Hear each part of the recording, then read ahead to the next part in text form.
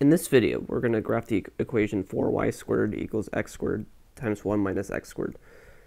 So let's try to find the domain. So divide by 4, so y squared equals 1 fourth x squared times 1 minus x squared. Then take the square root plus or minus, so y is equal to plus or minus square root of 1 fourth x squared times 1 minus x squared. So y would be plus or minus the square root of 1 fourth is 1 half and the square root of x squared is just x times 1 square root of 1 minus x squared. And whatever's in the parentheses has to be greater than or equal to 0. So this will tell us that x squared is less than or equal to 1, which means that x has to be between negative 1 and 1. So this is pretty important. So the next thing is, once we solve for y, so that would be plus or minus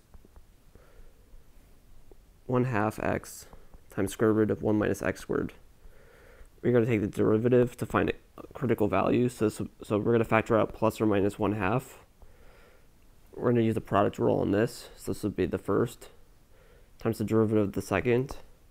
So that'd be 1 over 2 square root of 1 minus x squared times negative 2x because that's the derivative of 1 minus x squared. And then plus the second times the derivative of x, which is just 1. So this will be plus or minus 1 half. Minus 2 over 2 will cancel. I'm going to write the first term first. The second term first, so this will be square root of 1 minus x squared. And then minus x times x is x squared, all over square root of 1 minus x squared. So this will equal plus minus 1 half. I'll factor out a square root of 1 minus x squared, leaving us, so we're going to get 1 minus x squared to the 1 half minus negative 1 half, which if you just do that, it would be 1. So this will be 1 minus x squared minus x squared, but we can combine these two to be minus 2x squared. And we're going to set to 0, equal to 0 to find critical values. So this will give us 2x squared equals 1. x squared is 1 half.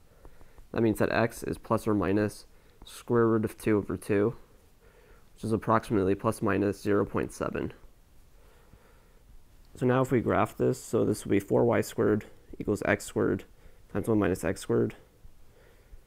And the dom domain is x in the set negative 1 to 1. So at x equals 0, plug it in, so x equals 0, 4y squared equals 0, so that means that y is plus or minus 0, but that's just 0. At x equals 1, you get 4y squared equals 1 times 1 minus 1, which is 0, which also tells us it's 0, and then at negative 1, it's also 0. So now we're going to put in square root of 2 over 2 and negative square root of 2 over 2. So that will mean x being root 2 over 2, or plus minus, means that 4y squared equals, so if we square this, it'll be 2 fourths, which is 1 half, times 1 minus 1 half. So this will be 1 half times 1 half, which is 1 fourth. So y squared is 1 over 4 squared, which tells us that y is plus or minus 1 fourth. We take the square root.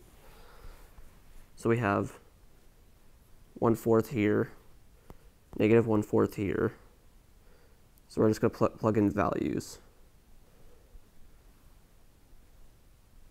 And then out here we have another one.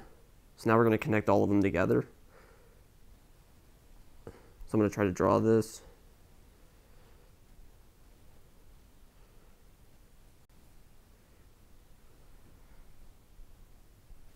And let me just try that again. Yeah. You get the idea, and that's what it's supposed to look like. And that's the end of the video.